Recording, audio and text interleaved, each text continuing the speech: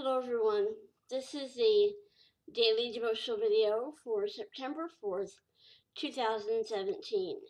Our passage for today is in the book of Genesis, chapter 16, and we're reading the entire chapter of chapter 16. Now Sarai, Abram's wife, had borne him no children, and she had an Egyptian maidservant whose name was Hagar. So Sarai said to Abraham said to Abram, See now, the Lord has restrained me from bearing children. Please go into my maid, perhaps I shall obtain children by her. And Abram heeded the voice of Sarai. Then Sarai, Abram's wife, took Hagar, her maid, the Egyptian, and gave her to her husband Abram to be his wife after Abram had dwelt ten years in the land of Canaan. So he went into Hagar, and she conceived. And when she saw that she had conceived, her mistress became despised in her eyes. Then Sarai said to Abram, My wrong be upon you. I gave my maid into your embrace. And when she saw that she had conceived, I became despised in her eyes. The Lord judge between you and me. So Abram said to Sarai, Indeed, your maid is in your hand. Do to her as you please. And when Sarai dealt harshly with her, she fled from her presence. Now the angel of the Lord found her by a spring of water in the wilderness, by the spring on the way to Shur. And he said, Hagar, Sarai's maid, where have you come from and where are you going? And she said, I am fleeing from the presence of my mistress Sarai. So the angel of the Lord said to her, Return to your mistress and submit yourself under her hand. Then the angel of the Lord said to her, I will multiply your descendants exceedingly, so that they shall not be counted from so that they shall not be counted for multitude.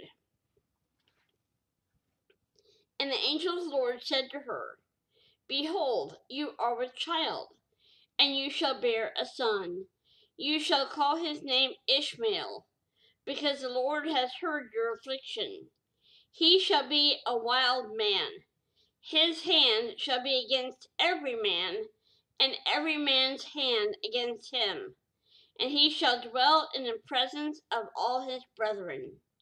Then she called the name of the Lord who spoke to her, You are the God who sees.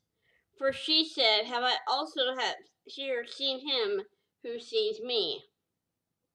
Therefore the well was called Beer Lahai Roi. Observe, it is between Kadesh and Bered. So Hagar bore Abram a son, and Abram named his son whom Hagar bore Ishmael. Abram was 86 years old when Hagar bore Ishmael to Abram. Get a quick drink, sorry.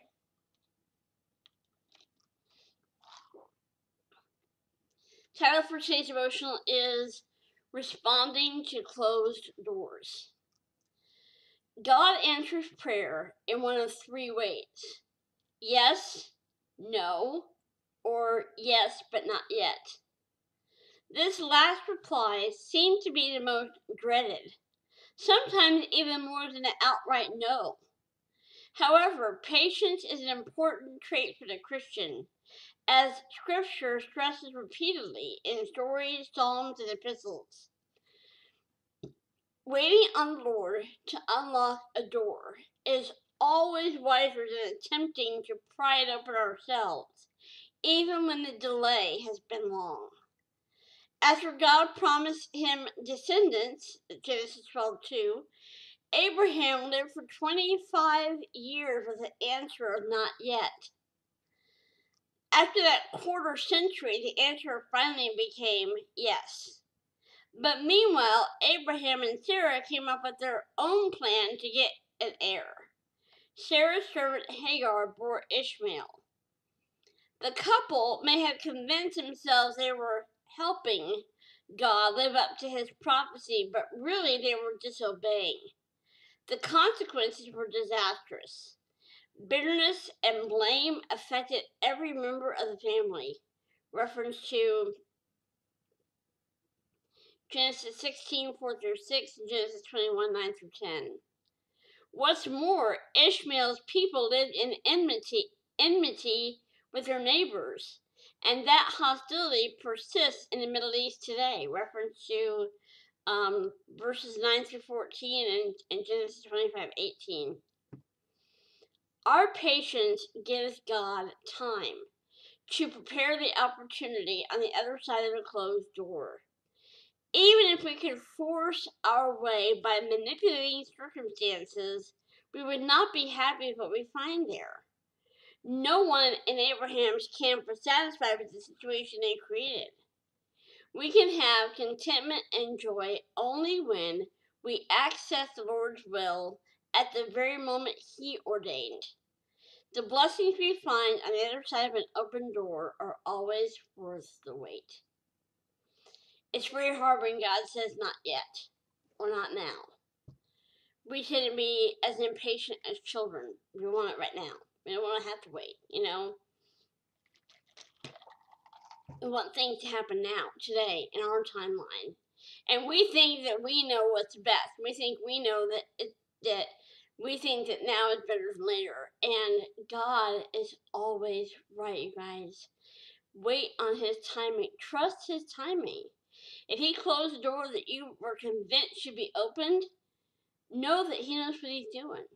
And He, he has only your best interest at heart. He has an amazing plan for your life. Just trust Him. Don't try to force the door open. Don't try to do things your own way. Trust in God's timing, and you will always be blessed. I love you guys. Have a great day and hope to see you back here again tomorrow.